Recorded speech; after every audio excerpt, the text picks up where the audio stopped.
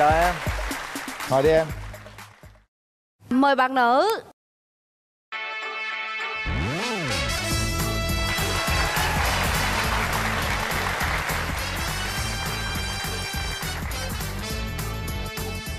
Giới thiệu về mình đi em trai Dạ, em tên là Hồ Trung Hiếu, em 25 tuổi. Hiện tại em đang công tác tại Long Thành, Đồng Nai. Em đang là một ờ, nhân viên kỹ thuật cho một công ty linh kiện sản xuất ờ, linh kiện ô tô. Dạ, em uh, xin chào uh, chú Quyền Linh, chị Nam Thư và quý vị khán giả. Em tên là ừ, Cao Thị Thanh Tâm, em năm nay 24 tuổi ạ. Dạ, em đang làm công việc là chuyên viên tư vấn của trung tâm ngoại ngữ và em cũng là giáo viên ở đó luôn ạ. ồ oh, vậy thì em dạy uh, ngôn ngữ ở nước nào Trung tâm của em thì có dạy tiếng Anh, tiếng Hoa, tiếng Hàn. Ừ. Nhưng mà em thì em dạy tiếng Việt. Hả? Chà nó liên quan dữ nè. À, Tại vì dạy tiếng Việt cho người nước ngoài à á. dạy tiếng Dạ. việt cho người nước ngoài. Vậy ủa thì nhưng mà dạy em- ở đâu vậy tâm? À, Dạ em đang dạy ở chi nhánh ở Bình Dương ạ. Như vậy có thể hợp lý ha. Ừ. bên đây à, hiếu bên kia tâm. Hiếu tâm cái tên cũng rất là dễ thương. Cái hậu cũng rất là tốt ha. À, có hiếu có tâm là được rồi. Ưu điểm và khuyết điểm của bản thân em là gì Khá là nhanh nhẹn, vui vẻ, biết văn nghệ một chút ạ hát liền tại chỗ lấy không khí liền nè I remember tears streaming down your face when I say I'll never let you go. When all those others almost killed in light. I remember you said, Don't leave me here alone. But all that's been gone past tonight. rồi Taylor Swift hả em đúng không bạn này của Taylor Swift đúng không ừ ừ. bạn trai đối đáp liền Ngày không em, không lung linh ánh nắng trên con đường. Dòng người lướt qua, riêng anh ngẩn ngơ miên man. Và em hơi có biết tim anh vẫn vương bóng hình đợi mong. hai bạn à, có giọng hát cũng à, khá tốt ha. Có thể đôi song ca hoàn hảo trong đám cưới của hai bạn cũng được. Đó nãy giờ là tâm mới nói về ưu điểm thôi nha. Còn khuyết điểm sao? Dạ em có nhiều khuyết điểm lắm ạ. Khi mà em làm việc thì em rất là nghiêm túc. Nhưng mà ngoài cái lúc làm việc á Là em giống như kiểu là cứ lơ tha lơ thơ á Kiểu là ví dụ em đang rửa chén hay em đang nấu ăn Tự nhiên em lại quay ra em hát. Xong rồi vô tình em làm bể đồ. Hát ca bồng bềnh rồi bể đồ rồi hoặc là khét đồ khét đồ ăn rồi hả? Dạ. À. Nhưng mà toàn bể đồ của trung tâm thôi không bể đồ của em. Em biết lơ thơ đúng chỗ lắm. Ừ. Anh ơi. Ơi, Anh có thích ngoại ngữ không anh?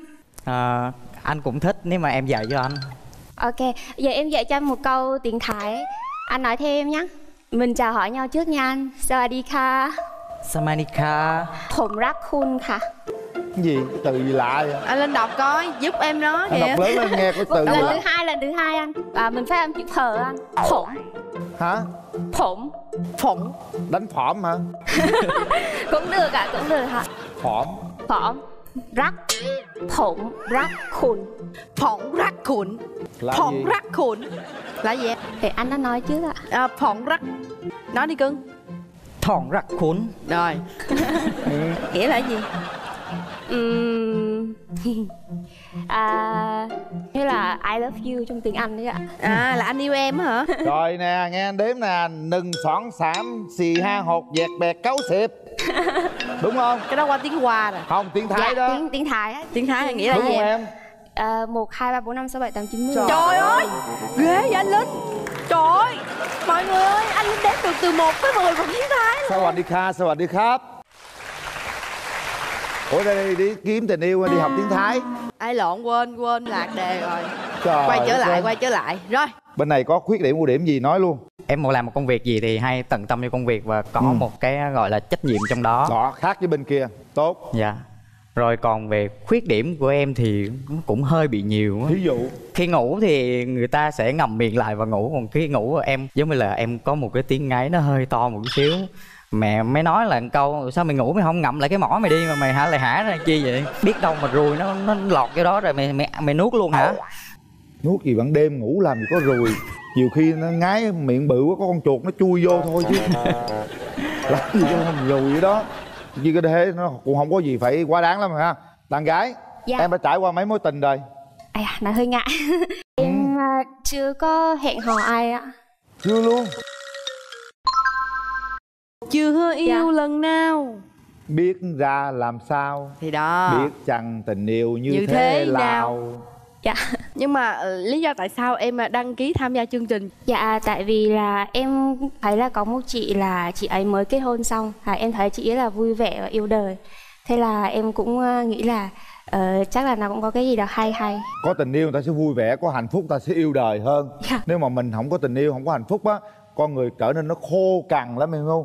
Tình Dạ. yêu nó là cái gì nó dữ dội lắm mà Dạ. hãy thử hôn nhau một lần đi rồi sẽ biết. Trời đất quay cuồng vũ trụ sụp đổ cảm giác được chưa? Chưa ạ. Chưa đúng không? Một chút xíu nữa mà bấm nút thì hôn nhau để thấy vũ trụ này nó xoay như thế nào. Rồi ờ, vậy thì còn ờm, ờ, đường tình duyên bên nhà trai thì sao tình ta duyên sao kể cho bà đàn gái nghe đi em. Sâu đậm nhất cũng là mối tình đầu của em gần 4 năm ạ. Ồ nhưng mà tại sao chia tay? Dạ, sau khi rồi em tốt nghiệp ra trường thì em đi bộ đội. Em nhớ năm đó là em đi tháng 3 Ừ. cho tới tháng 11 Thì cuối tuần em về em mượn điện thoại của chỉ huy Em nhắn tin với lại người yêu của em. Thì tin nhắn trả lại làm em cũng hơi bị ngạc nhiên. Anh ơi, giờ em hết thương anh rồi Giờ phải làm sao? Thì lúc đó tự nhiên trong người mình nó buồn rũ rượi luôn. Tối anh em ngủ hết Bắt đầu em đang nằm cái nước mắt hai bên nó trào ra. Em kêu cái cái cái gì mà ngộ đời dữ vậy Hiếu? Từ xưa tới giờ mày đâu có vậy đâu. Nhưng mà thật sự là lúc đó mình cảm giác nó rất là đau. Đau lòng. Một lần chúng ta thất tình chúng ta mới thấy được cái đỉnh cao của sự đau khổ thế nào hãy thất tình một lần để cảm giác tình yêu nó sẽ đẹp như thế nào. Trời anh suối gì dại vậy anh linh? Không thật mà. Qua đó thì chúng ta gọi là mạnh mẽ hơn. Mạnh mẽ hơn trong tình yêu đúng không? Ừ. thôi bây giờ mình khép lại cái câu chuyện quá khứ đi. Ừ một tương lai thật sự tốt đẹp sẽ mở ra. Tâm Dạ. bây giờ là em mong muốn tìm một cái người yêu lý tưởng cho mình là như thế nào? Em nghĩ là cái sự hấp dẫn ở nhất ở người con trai á Là người đó à, có chính kiến á Phải thực sự kiên nhẫn nữa đó là về điều mà em lý tưởng Dạ sao bà y chưa yêu ai mà lý tưởng ít quá vậy Thực ra em có lãng mạn nhưng mà em nghĩ là ừ, nếu mà mình cứ nghĩ lãng mạn quá thì mình không có bao giờ tìm được cái người mà thực sự là ngoài đời nó có đâu. Em xem phim cũng nhiều, nghe nhạc cũng nhiều nhưng mà em biết là cái lãng mạn đó nó nó nó nó chỉ là nghệ thuật thôi. ừ. hiếu ơi vậy cái hình mẫu lý tưởng bạn gái của em là gì Có một chút gì đó sống về nội tâm một tí xíu. Ừ. Xung quanh bạn ấy phải có những cái vệ tinh ở xung quanh. Có nghĩa là bạn ấy sống để mọi người yêu mến Và hòa đồng, hòa nhập với cuộc sống, hòa nhập với xã hội. Nhưng nếu chung quanh bạn ấy nhiều vệ tinh quá em có ghen không? Đúng rồi. Dạ, nếu mà như vậy á, thì mình phải tự hào về bạn gái mình. Tại bạn gái mình dễ thương, bạn gái mình có nhiều tính tốt thì mới được nhiều người quan tâm. Nhưng em có đủ bản lĩnh để em thi đấu với nhiều vệ tinh không? Ừm, Dạ, em không có biệt tài hay gì hết Nhưng em sẽ lấy sự chân thật của em ra rồi Ừ. tốt hôm nay tâm em đi đến đây với ai Dạ em có đi với một bạn đồng nghiệp của em và một bạn thân của em nữa. à chào bạn đồng nghiệp chào bạn thân của tâm Con chào chú Quỳnh Linh Chào và con. cô Nam Thư ạ. Chào anh ạ. Dạ, à, nãy giờ thì em thấy anh nói chuyện rất là chân thành và em và chị đồng nghiệp cũng là những vệ tinh xung quanh chị Tâm đây ạ. chị Tâm á, thì à, sống rất là nội tâm ạ. Em à, muốn à, nếu mà sau này anh chị có thành đôi thì à, quan tâm nhiều hơn. À, em chuyển lời cho Ừm, thì em cũng là bạn thân của bạn Tâm thì em cảm thấy là nói về tính cách thì hai người cũng khá là hợp nhau. Đến được với nhau thì em cũng rất là mừng. Sau 24 năm thì bạn ấy cũng đã được à, biết được tình yêu là gì. em cảm ơn ạ. rồi cảm ơn hai bạn hiếu đi với ai hiếu Dạ, em đi với gia đình gồm cậu và Dượng và bạn đồng nghiệp và em trai rồi mời đại diện gia đình bằng đàn trai À, kính thưa chương trình, à, chào à, MC Quỳnh Linh, MC Nam Thư và tất cả các à, khán giả trong trường quay. Tôi xin có đôi lời là dạ, dạ, Hiếu ơi, cậu cũng thấy à, bạn Tâm cũng à, được đấy. Mỗi người đều có cái ưu cái khuyết nhưng mà cậu hy vọng hai cháu sẽ cho nhau cơ hội và tiến xa hơn nữa. rồi cảm ơn dạ hai đàn cảm ơn cậu bé tâm ơi bây giờ ở dưới á, là có cậu nè chắc đây là dượng nè bên này là bạn thân và em trai. Bây giờ em nhìn đi em đoán ai là em trai của của hiếu bên kia? Em nghĩ là bạn bên này. là ở ngoài cùng đúng không? Dạ. em có phải là em trai của hiếu không?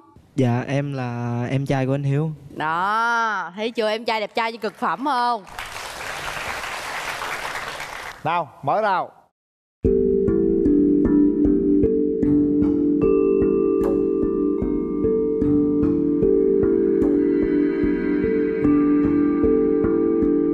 đầu đi hiếu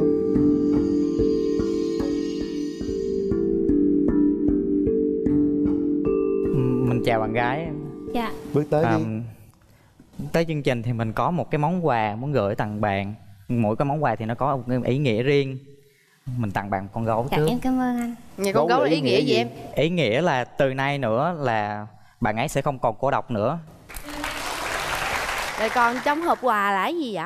Một lần em đi chơi ở Đà Lạt thì ờ, em mới nghĩ ra mình em nếu mình có bạn gái thì mình phải biết ờ, bạn gái ờ, thích gì và cần gì. Và Đà Lạt thì là một cái chốn gọi là lạnh lẽo mà cần cái một cái hơi ấm mà cần một sự che chở thì em có gửi đến bạn một cái nón len. À. đội Vô lên đi. đội luôn, đội luôn.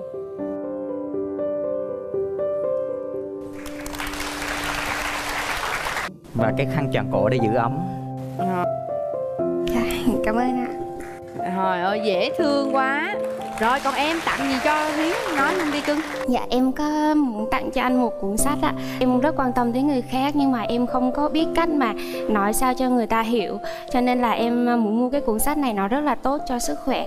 Ở đó có rất là nhiều cái hay cái mà em muốn nói Ờ, Nhưng mà nhiều khi nếu như mà em nói em cằn nhằn thì em sợ là anh không vui. Thì lúc em sẽ nói là à anh mở trang 35 ra xem đi. Thì thế là được. Rồi hai bạn mình về chỗ nha phụ nữ như vậy thì thông minh đấy. Không cần nói anh mở trang 35 39 21 gì đó thí dụ vậy. Rất là hay. Rồi bây bắt đầu giờ trò chuyện đi các bạn. Cho anh hỏi á, là khi mà em yêu thương một ai đó thì cái quan điểm tình trong tình yêu em là cái gì?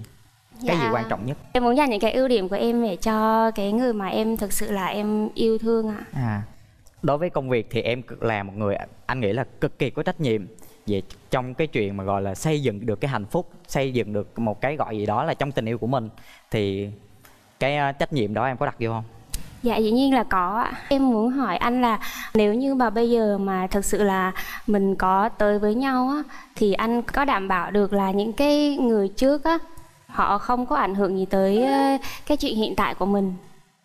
đối với anh thì cái kỷ niệm và cái hồi ức nó chỉ là những thứ đi qua rồi nó mang lại cho mình những cái ấn tượng đẹp và coi như là một kỷ niệm đẹp trong cuộc sống của mình sau này thôi Dạ. còn mình sẽ lấy những cái cái vấp ngã những cái va đập ở xã hội va đập trong tình cảm đó rồi mình cân bằng lại cái bản thân mình rồi sau này mình lấy cái cái khuyết của mình đó mình bù lại cho cái cái khoảng sau của mình nữa Anh quan niệm như thế nào về chuyện ờ, kinh tế ạ? Anh nghĩ á, là người phụ nữ là người sẽ quán xuyến tốt nhất về chuyện tiền bạc và tiền nong sau này. Tại vì cánh đàn ông nếu mà họ có nhiều tiền đôi khi họ sẽ ờ, tiêu một cách nào đó ờ, phung phí. Tại người ta thường nói á, là đàn ông xây nhà người phụ nữ thì giữ cái hơi ấm của cái ngôi nhà đó. Nên anh sẽ để tài chính do em quyết định. Cái đó em thấy là cũng tốt ạ. Nhưng mà em thêm một tí nữa thôi. Tức là nếu như mà mình ừ, cái cái chuyện tài chính á anh nói là đàn ông người ta có thể là uh, tìm cái cách nào đó à, để phung phí tiền thì em hy vọng là anh đừng có tìm cái cách nào đó đừng có tìm cách. À, với lại là em cũng muốn anh có trách nhiệm với cái tiền bạc mà anh kiếm ra.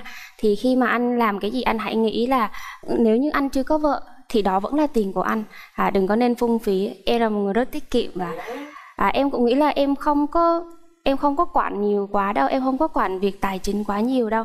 Em nghĩ đó là trách nhiệm của đôi bên. Ban đầu hai đứa nhìn nhau thì em cảm nhận như thế nào về anh? À, dạ em có cảm nhận là ờ, thật sự anh là một người trông rất là ờ, gọi là tuấn tú nên là em cũng có phần lo sợ ạ. Em lo sợ điều gì? À, em lo sợ vậy thôi.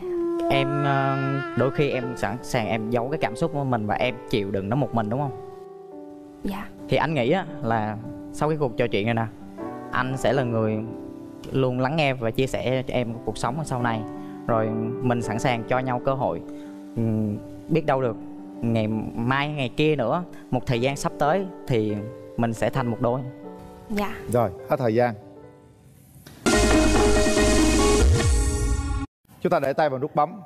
Phải rung động thật sự thì hãy bấm và có trách nhiệm với nút bấm đó. Chuẩn bị. Ba. Hai. Và một.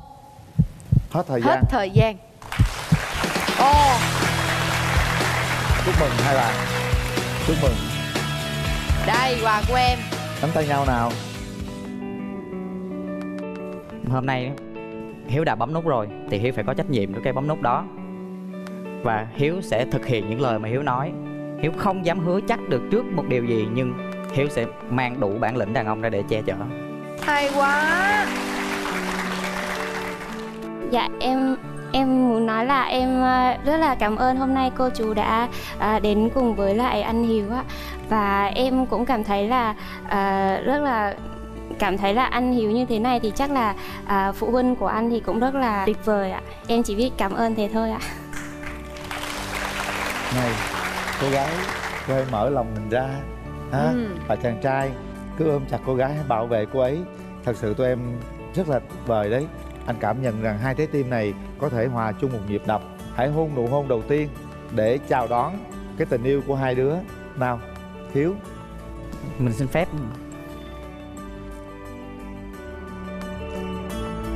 đó dễ thương. Dễ thương lắm. Đây biên tập giống như người làm mai cho chị vậy đó. Thì à, chị sẽ chia sẻ giùm em à, câu chuyện của chị rõ ràng ngắn gọn xúc tích. Và à, nói chung là chân thành chân thật nhất ha đừng có ngại gì hết. Nếu được chọn thì bên em liên lạc lại rồi để mình à, làm giấy tờ để mình đi ghi hình chị nha. Rồi. Rồi bây giờ à, mời chị nè mình tươi tươi lên một chút đi nè. Thấy cái mặt hơi căng dạ rồi mời chị giới thiệu đầu tiên mình giới thiệu về họ tên rồi cái công việc quê quán của mình ở đâu ha? Dạ mời chị. À, à, chị là Nguyễn Thị Kim Linh à, sinh năm 1968 quê quán chị thì ở Dĩ An Bình Dương nhưng mà hiện tại chị đang sinh sống và làm việc tại à, à, ấp 1 xã Tân Thành Tây Củ Chi thành phố Hồ Chí Minh. Dạ. À, nghề nghiệp của chị là chị làm công việc chị may quần áo á, chị bán vải rồi chị may rồi chị làm tiệm tóc luôn. Là chị tự làm ở tại nhà may quần áo là chị may hả? Em thấy ngoài sau có quần áo là chị may cho nữ rồi hay sao chị? Đúng rồi chị may đồ cho nữ chị bán vải rồi chị may đồ luôn á em. À là chị bán vải ở nhà này luôn á đúng không? Đúng rồi chị bán vải may đồ chị bán mỹ phẩm rồi chị làm tiệm tóc luôn. Tiệm tóc luôn là chị cắt tóc luôn á hả? Đúng rồi cắt tóc rồi à, cắt uốn Wow, duỗi wow. nhuộm rồi chăm sóc da rồi à, chị xăm phun môi mày mắt luôn. Ồ xăm luôn quá trời quá đất đúng, luôn vô nhà chị là làm tổng thể được luôn rồi đó. Đúng mặc rồi làm là đẹp chính luôn cắt là đẹp chỉ không có giả khẩu thẩm mỹ thôi. Dạ. Rồi ủa chị may đồ là chị may đầm à, váy áo dài hay là may gì ạ? Chị may à, đồ tây cum lê vét tông rồi may đầm váy đồ bộ đồ kiểu sơ mi quần tây của nữ. Của nam không có may áo dài áo bà ba thì chị không có may. Sao, sao không may nam may nam là có có chồng rồi. Ôi chị không thích đâu. Ôi, chị chị nói em nghe hồi dạ. đầu tiên chị cũng có may đồ cho nam nhưng mà đặt một bộ đồ chị hẹn một tuần lấy mà ra ba lần cái chị ghét chị trả luôn chị không có may nữa. phiền phức. Ủa ra ba lần sao chị? Người ta không lấy hay sao? Hay là gì? Có nghĩa là chị dặn một lần một chị đặt ờ, ví dụ đặt hôm nay ừ. chủ nhật thì chủ nhật tuần sau mới lấy đồ mà cứ ờ, dạ. thứ hai cái chạy ra thứ ba cái chạy ra vậy đó cái chị không có à. Giống như là thấy mình có một mình á thấy mình có một dạ. mình rồi người ta người ta có ý gì không biết cho nên chị không có thích tại với à. lại chỗ mình làm nữ chị làm hai nghề á em. Chỗ mình dạ. làm nữ mà có ờ, nam ở trong ừ. nhà là nữ người ta ngại á, khó làm lắm cho nên chị làm nữ chị không có làm nam. Ừ. chị nhưng mà vậy là chị cũng may được đồ cho nam đúng không? Ví dụ đúng thôi. rồi. Ví, đúng ờ, đúng ví đúng. dụ chị lên chị tham gia chương trình đi chị may cho ảnh ờ, bộ ờ, cái quần tây với cái áo sơ mi em ví dụ vậy đó và là được đúng không? Đúng rồi được nhưng mà chị phải biết cái số đo hoặc là chị phải biết cái hình à. dáng người đó như thế nào chứ không chị như giờ chị. cứ như mai công công nghiệp đi chị cứ may size L rồi M gì đó là được rồi. Chị thì chị may theo số đo không có theo size. Tại chị may hàng nhà không phải hàng chợ em biết không? Như dạ chị may đo chị may đo như người Bắc là nói may đo đo cho em xong rồi may theo cái tướng tá của em. Còn ví dụ dạ. chị nhìn thấy em ở trong video á, thì chị có thể chị đoán ra được số đo chị may dạ thôi rồi vậy ờ, chị ờ, chia sẻ một chút xíu đi ha về cái cái cái điểm mạnh điểm yếu của chị ờ, như nào? Rồi đã từng kết hôn hay chưa? Dạ. À, chị thì à, đã từng kết hôn hai lần. Chị à, kết hôn lần đầu thì chị có ba bé rồi lần sau thì chị có hai bé nhưng mà nói chung là chị không có gặp được người thật thà. Ờ, thật đầu thì là tâm đầu ý hợp rồi đến lúc mà khó khăn thì nó nó có mâu thuẫn rồi mâu thuẫn lớn dần rồi đi đến cái chia tay. Rồi hiện tại bây giờ thì con chị lớn hết rồi đứa ờ, ba đứa lớn thì có gia đình có con còn hai đứa nhỏ thì đứa học đại học năm thứ ba đứa học đại học năm nhất. Còn À, à, chị điểm mạnh của chị thì sao ạ? Con ừ. chị? Ờ, nhà thì chị à, ly dị chị để nhà lại cho hai đứa nhỏ ở. Rồi hiện tại giờ là ổng đang tranh chấp với chị đó. Ổng nói là nhà của chung nhưng mà đám cưới chị là trên cái nhà của chị bây giờ ừ. chị đang bị tranh chấp về vấn đề đó. Còn con á thì à, nó ở trên đó thì ví dụ như à, tiền học tiền hành rồi à, tiền thuê nhà rồi tiền à, máy lạnh tủ lạnh tivi rồi những cái vật dụng như laptop rồi điện thoại rồi quần áo giày dép nón nhớ vậy đó. Thì cứ alo mẹ là mẹ lo. Ừ là hai đứa nhỏ nó cũng không ở với ba. Nó ở với ba rồi giờ nó ra đại học thì ừ. nó ở riêng còn nhà đó là hồi đầu tiên á, ly dị là chị nói là ừm, bây giờ con nó không theo chị với lại nó theo chị thì sẽ bấp bênh nó đang học hành ở đó. Thì để cho nó học ở đó rồi để nhà để à, à, tài sản lại cho cha con nó ở rồi đến con học hết 12 á thì ừ. chị bán nhà. Thì lúc đó thì mình nghĩ là của mình thì họ không có dành giống như của mình là không phải của mình mình không dành vậy đó. Mà nói bằng miệng tài thôi. Nhưng mà giấy tờ sổ sách chị đứng tên từ trước tới giờ. Nhưng mà hiện dạ. tại giờ ông vẫn tranh chấp ông nói ông ở đó mười mấy năm rồi giờ ông vẫn tranh chấp dạ. Nhưng mà bây giờ thì cái à, lần đầu tiên chị ly hôn á thì là à, anh chồng đó vì cái lý do gì chị có thể nói ngắn gọn em không? Về cái à, gì? cái dạ. cái ông chồng đầu tiên á là chị có ba mặt con. Rồi cái um, lúc đó thời thời thời điểm đó là gia đình nhà chồng nghèo khó lắm. Xong rồi chị làm chị lo hết ra ngoài. Ừ. Rồi cái anh có bồ anh có bồ rồi cái chị bắt được. Rồi xong rồi chị chia tay. Ông đánh đập chị nhiều lần hành hạ chị nhiều lắm nói chung là liên tục xúc phạm chị rồi đến cha mẹ chị nên chị bỏ đi đến 12 lần ra tòa mới thôi được. Rồi rồi sao thôi rồi xong rồi 12 năm sau chị mới ờ, tái hôn. Là ông chồng sau chị là ông ừ, làm việc ờ, ở trong ờ, ông tham gia ừm, ừm, cái gì ổng là đảng viên á tham gia trong ấp á. Rồi người này làm mai người kia giới thiệu rồi chị thấy à, mình ở xứ lạ quê người lúc đó chị thôi chồng xong rồi chị à, bán nhà ở dưới à, Dĩ An. Chị mới về trên Phú Giáo chị mua đất chị làm nhà. Rồi chị ở đó được từ năm 96 mà đến năm 2000 anh mới cưới chị. Cưới chị trên cái nhà của chị luôn. Thì mình nghĩ mình nương tựa ở cái người mà có làm việc có học vấn á, thì mình đỡ bị hồ đồ hơn. Nhưng mà cuối cùng thì nói chung hai ông chồng chị là cũng gì có đàn bà khác cho nên ừ. chị không tha thứ được chị phải chia tay. Rồi Ờ, bây giờ thì chị ly hôn cái à, hôn nhân thứ hai bao lâu rồi chị? Ờ, chị ly hôn năm 2009 ly ừ. Hôn á là năm 2004 à, 2005 là sau chị sanh bé chị được mười mấy tháng á. Rồi kéo dài kéo dài riết đưa đơn ra kéo dài riết cho đến năm 2009 mới có quyết định ly hôn hiện tại dạ bé chị rồi. giờ nó vô đại học rồi. Dạ. Ok vậy bây giờ chị muốn tìm một người như thế nào? Chị mô tả kỹ giùm em về ngoại hình về công việc tuổi tác luôn nha. Ừ. um, chị thì um, nói chung chị đông con nhưng mà hiện tại chị chỉ sống một mình thôi. Từ trước giờ chị cũng sống một mình. Từ khi mà chị ly dị lần sau rồi chị đi xuất khẩu lao động chị làm việc bên đó 5 năm. Xong rồi chị về Việt Nam chị ở một mình chị sống một mình. À, cái nguyện vọng của chị á là ngoại hình thì không cần thiết đâu. Mà um, giàu có ờ, nhà cửa xe cộ chị cũng không cần thiết đâu tại vì chị có thể làm nuôi sống bản thân chị được. Chị chỉ cần một người ờ, thật thà. À, có thể à, chịu thương chịu khó cùng chị đồng hành đi hết cái con đường còn lại. Còn tuổi tác thì là bằng chị hoặc là trên lệch một hai ba năm 10 tuổi được chứ đừng nhỏ hơn chị.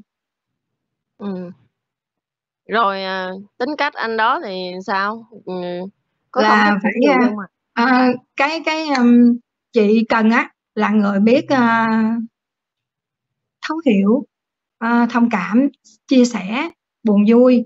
Rồi à, chị biết là chị muốn là cũng giống như là vợ chồng phải hiểu nhau. À, người này nói người kia phải nghe. Rồi người này nói thì người khác nghe. Chứ đừng có mà hồ đồ mày tao mi tớ rồi buông lời thô tục là chị không có chị không có chấp nhận được là tại vì chị ừ, nói chung cái điểm yếu của chị là hay mũi lòng hay à, xúc động á. Còn điểm mạnh của chị á, là chị à, vui vẻ hòa đồng hoạt bát. Rồi chị à, làm việc thì siêng năng chăm chỉ giỏi vắng rồi chị cũng có tính thương người chị cũng hay giúp đỡ người khó khăn hơn mình. Còn điểm yếu của chị là nhiều khi có một cái gì đó bức xúc chị thì hay có cái lòng tự ái á, thì chị tự ái cao á. Cho nên là cái bản chất của chị thì lúc mà nóng nảy thì hơi lớn tiếng. Nhưng mà ăn nói thì không có hồ đồ.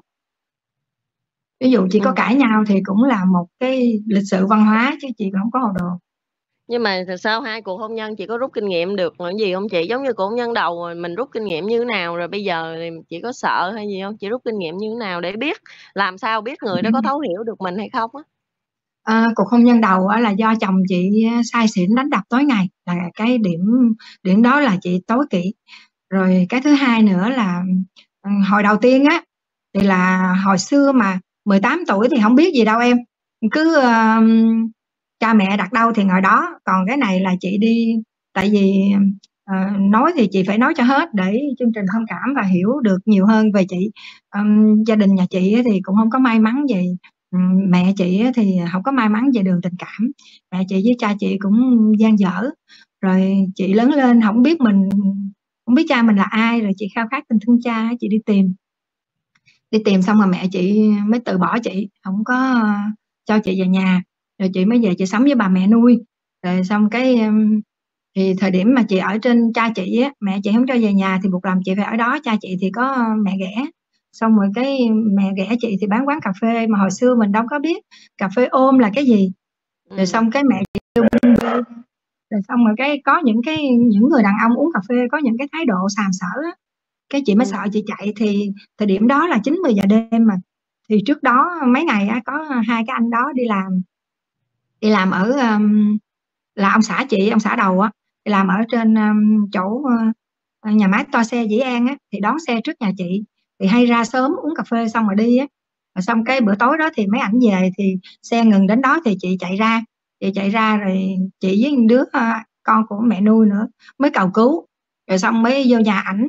Vô nhà ảnh thì chờ ba chị về ba chị đi làm tài xế thì 11 12 giờ đêm mới về tới nhà xong rồi cái bà má ghẻ kêu công an vô bắt cư ngụ bất hợp pháp.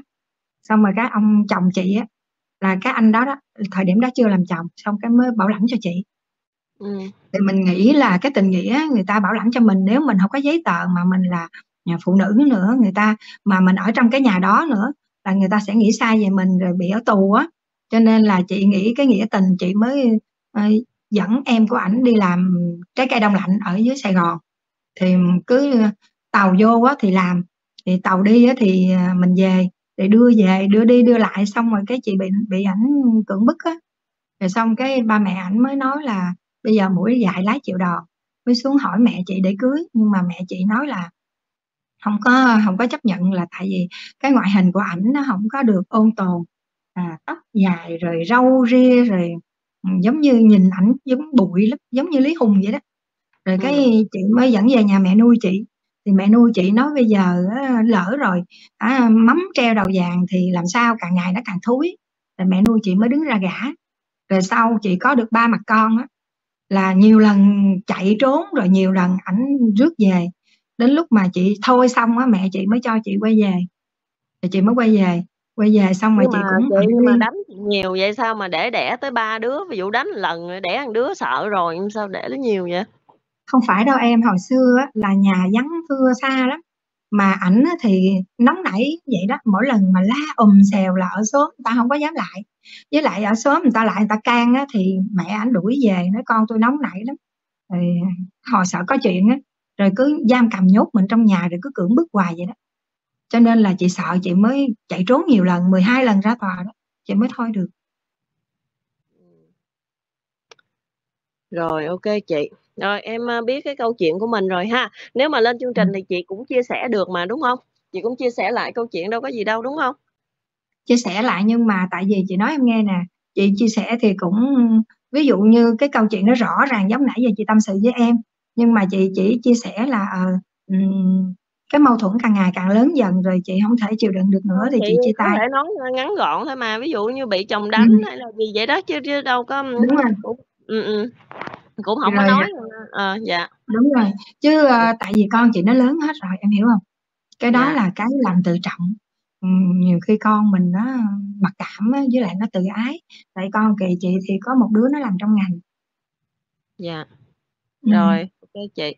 À, nếu được chọn thì chương trình sẽ liên lạc lại với mình nha chị nha.